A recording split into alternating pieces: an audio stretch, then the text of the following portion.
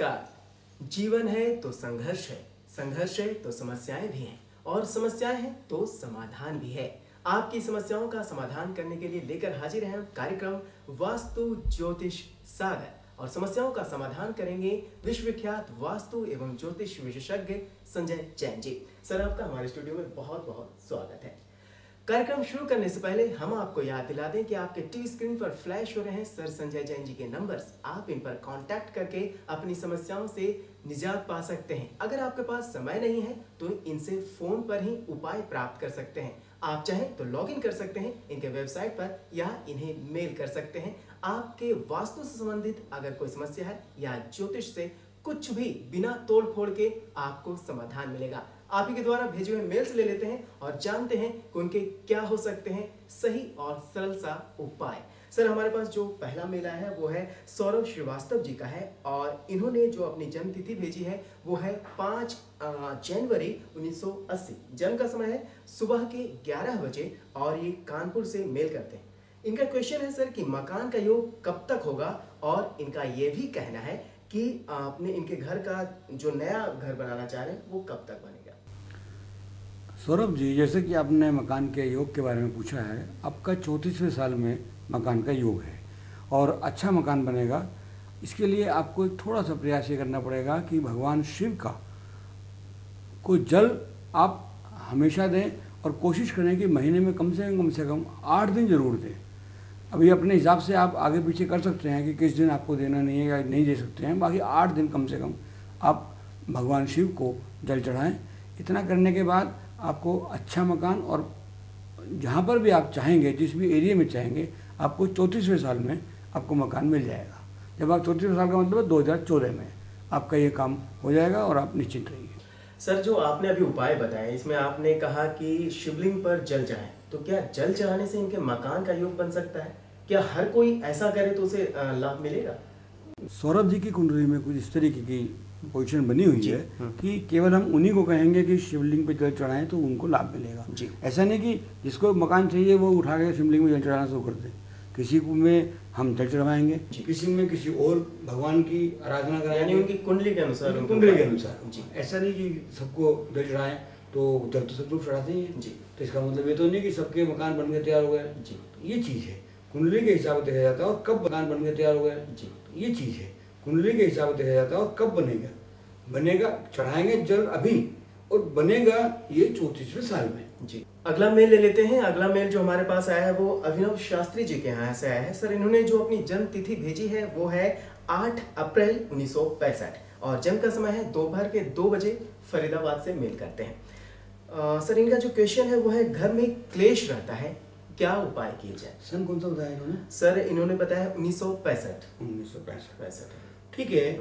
मैं देख रहा हूँ, अभिनय शास्त्री जी, आपके यहाँ जो घर में कलेश रहता है, जैसे कि आपने बोला है कि घर में कलेश रहता है, इसके लिए आपको चंद्रमा आपका थोड़ा सा वीक है, उसके लिए आपको अपनी माता जी की आशीर्वाद की ज़रूरत है उनको, आपको करना क्या है कि माता जी को कभी भी हफ़्ते में एक बार या महीने में एक बार खीर बना करके खिला दें, या कोई भी चीज़ जो दूध की बनी हुई हो, वो खिला दें आप ये ध्यान रखें कि खीर आप खिलाएँगे, ऐसा ना हो उनको शुगर हो तो भी आप खिला दें। नहीं हो तो दूध की बनी हुई कोई और चीज़ खिला दें। मेन ख्याल क्या है कि आपको माता जी की सेवा करनी है। इससे आपका जैसे ही थोड़ी सी सेवा करेंगे, अपने आप रास्ते निकलने शुरू हो जाएँगे और आपका ये घर में जो कलेश रहता है, ये ठीक होने जाएगा जी। बिल्कुल। तो अभिनव शास्त्री जी, देखा आपने कि क्या करना है आपको? दूध से संबंधित जो पकवान है, जो सर ने आपको कहा है, उसका उपयोग कीजिए और जो विधि बताई गई है, उसका पालन कीजिए। समस्या ज़रूर दूर हो जाएगी। सर, अगला मेल ले लेते हैं। अगला मेल जो है, सरिका जैन जी के यहाँ से आया है। इन्होंने जो अपना जो डेट ऑफ़ बर्थ बताया है, वो है 8 अगस्त 1985 और इनकी जो जन्म का जो इनका जो समय है, वो चार बजकर तीस मिनट सुबह का समय है। मुरादाबाद से मेल करती हैं। ये कहती हैं, ससुराल में नहीं बनती। क्या करूँ? जैसे कि आपने बताया है कि ससुराल में नहीं बनती है, आप भगवान चंद्र प्रभु की आराधना कीजिए, उनका स्मरण कीजिए। कभी हो सके तो आप तिजारा एक बार, कभी को परिवार के साथ जा रहे हों तो आप जा सकती हैं। आप इतना काम कीजिए, निश्चित रूप से परिवर्तन आएगा। और थोड़ा सा ये समझिए कि जिस भी परिवार में आप आई हैं, जैसे तो इसके अंदर कुछ ना कुछ आपको उनके अनुसार एडजस्ट होना पड़ेगा।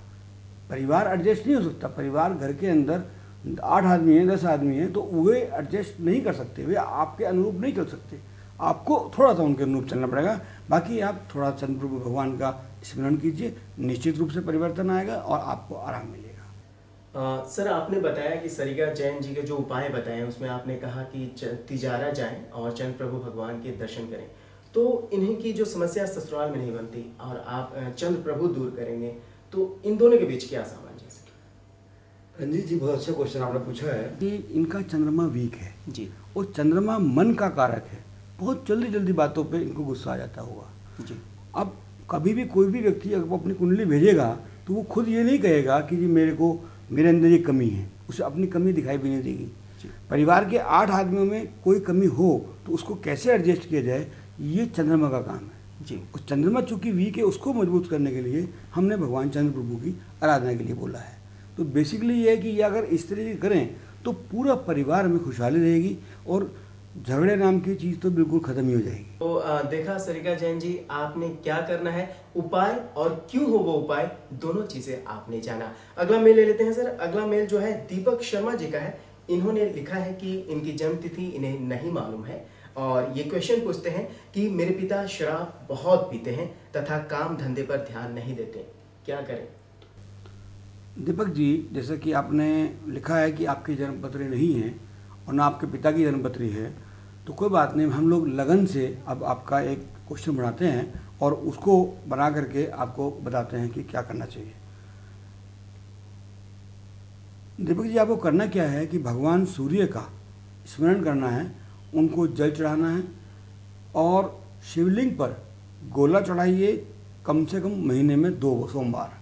तो दीपक शर्मा जी, देखा आपने कि क्या करना है आपको? भगवान भोलेनाथ की जिस प्रकार से वंदना करने के लिए आपको बताया गया है, वो कीजिए। आपके पिताजी शराब ज़रूर छोड़ देंगे। अगला मेल ले लेते हैं, सर। अगला मेल जो है, वो विनय पहवा जी के यहाँ से आया है। और इन्होंने जो अपना जन्म का समय बताया है, वो है आठ बजकर तिरपन मिनट पर। सुबह का समय है। और जन्मतिथि है इनकी 22 नवंबर उन्नीस सौ बहत्तर।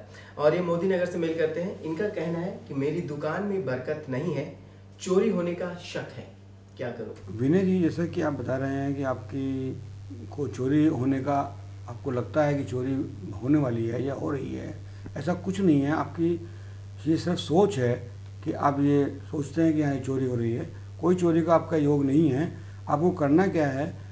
केवल अपने ग्राहकों से संबंध बढ़ाने हैं, अच्छी तरीके से बात करनी है, उन पर नाराज़ नहीं होना है, गुस्सा नहीं करना है, इन चीज़ों पर ध्यान दीजिए। आपके पास जो आय है, वो कुछ कम है मेरे हिसाब से, कुछ आय कम है, वो धीरे धीरे आपके व्यवहार से आपको सुधार में आ जाएगी और आपको इसके लिए करना क्या है? शनिवार के दिन और मंगलवार के दिन, दो दिन आपको बंदरों को गुड़ खिलाएँ।